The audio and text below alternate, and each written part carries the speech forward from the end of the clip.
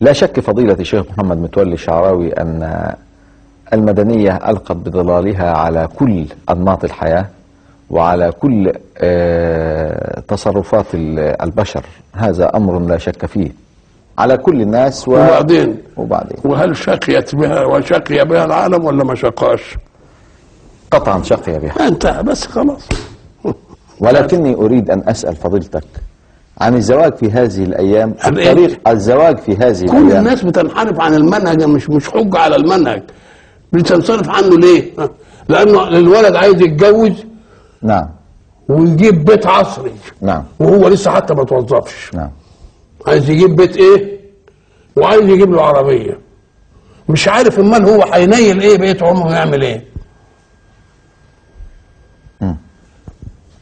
يبقى يبقى المباني اوض قد كده وعايز صالون. آه، الخامس ولا هو مش عارف إيه وي- ويقسم الصالون ثلاث أقسام يحط في كل حتة في كل حتة ويعمل أحسن أوضة عنده في الشقة يعملها للجلوس قال يعني الواد مستقبلات أو بيستعمل الجلوس ويعمل له أوضة سفره وهو هياكل على الطبلية إيش هو؟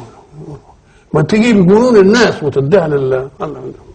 طب ما رأيك فضيلة الشيخ في الزواج الذي يتم على طريق الحب وتعارف الفتى والفتاة تعارفوا ولا تغارفهم؟ وتعارف التعارف والتغارف. يغرفوا بعض ولا يعرفوا بعض؟ لا يعرف لا ده عايزين يجربوا بعض الأول. مم. نعم. ولو أن العلاقة كانت علاقة يرضى عنها الله. ما فيش كلام علاقة بين الرجل وامراه من غير عقل ما يرضاهاش الله ابدا ما فيش حاجة من دي مش ممكن مم. المحادثات التليفونية بين ال ال هذا أمر يهيك نعم. مش أنت لك أن تراها مع محارمها مرة عشان تبقى واخد فكرة عن شكلها وانتهت المسألة بس. وليس له أكثر من ذلك الحمد لله. طب ده كل ما طول فترة الخطبة تتفسخ.